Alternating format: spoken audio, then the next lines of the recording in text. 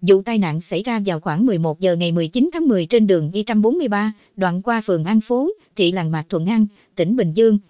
Thời điểm trên, xe container mang băng kiểm soát 72K4532 lưu thông trên đường Y143 theo hướng từ thị xã Tân Uyên về thị xã Dĩ An. Khi xe vừa lưu thông qua khỏi Ủy ban Nhân dân phường An Phú khoảng 100 mét thì lúc này phía trước nhiều xe đang dừng do kẹt xe nên tài xế cho xe dừng. Hiện trường vụ tai nạn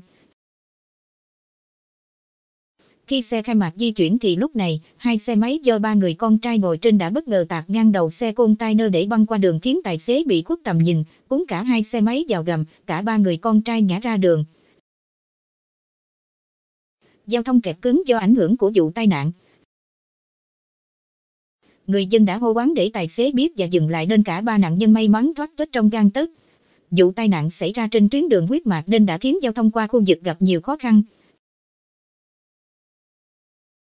Đường Y143 là đoạn đường huyết mạch của tỉnh Bình Dương nên lượng phương tiện tham gia giao thông rất đông và kém cỏi, xuyên xảy ra tai nạn chết người.